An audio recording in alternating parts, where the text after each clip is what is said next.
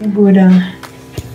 Uh, you know, the power is out, it's a little stressful because your alarms are going off. Huh, sweetheart?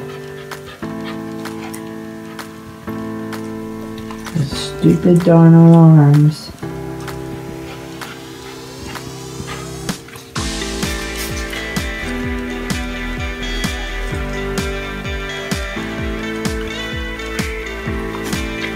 Sorry. We'll go get your thunder shirt.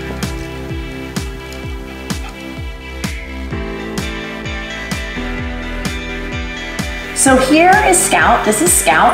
Um, as I said previously, I've got a sound effect of an alarm on my phone ready to go. And I also have cream cheese in a packet here. I just cut off the side so Scout can have a little nibble of it while we're doing this training.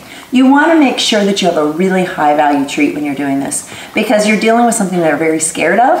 And so you want to pair it with something that's really good to teach them that when they hear that scary sound, good things can happen. Now, if Scout heard this alarm at full um, volume, she would start tremoring and she would get scared and she would be shaking and she would hide and she'd get extremely nervous. So I have turned the volume way, way down. So hopefully um, it will not be enough to make her nervous, but something that she will hear. So we will see um, if this is, if I have the volume down low enough. It can't go much lower.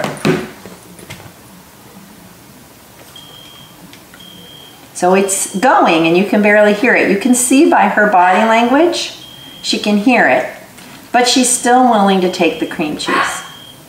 And she's not shaking and she is taking it. What I'm going to do is stop it and then take away the cheese. That way, when she hears the sound, the cheese comes out. When the sound goes away, the cheese goes away. So I'm gonna do it again at that same volume. Because I could see her eyes get big and her ears kind of went up, I know that she got a little bit nervous, so I'm not gonna turn up the volume until she gets to the point where she's really calm. So again, cheese first, turn on the sound,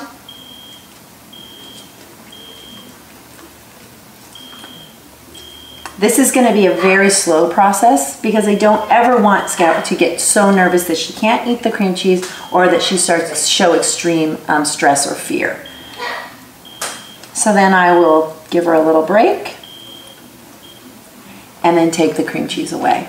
And you can see that right now she's not shaking, so it's not enough. But we're gonna have to do this quiet volume quite a few times before I can increase it again. And then I'll increase it just by one little bit.